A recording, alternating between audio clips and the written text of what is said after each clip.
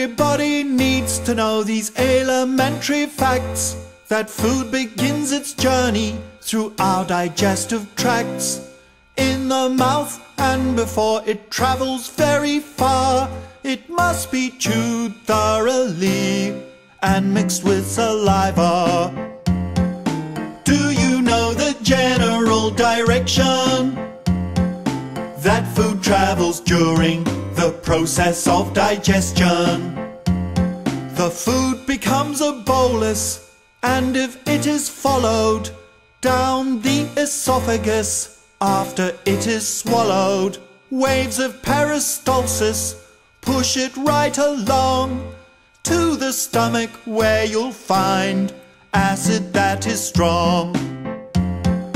Do you know the general direction that food travels during the process of digestion?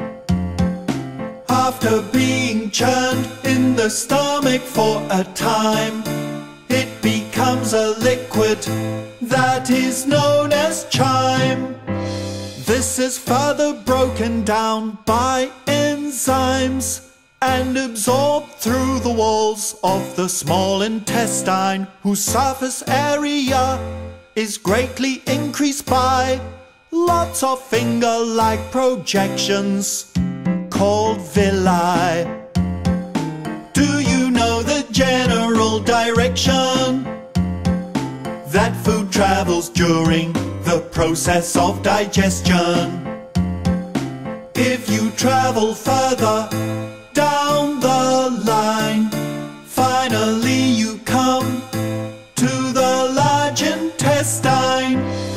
water and electrolytes are removed, turning what is left into solid poo, and what began its journey as a tasty meal goes out through the anus as waste material.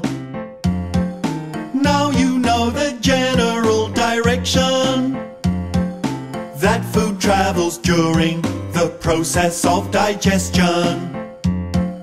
Now you know the general direction that food travels during the process of digestion.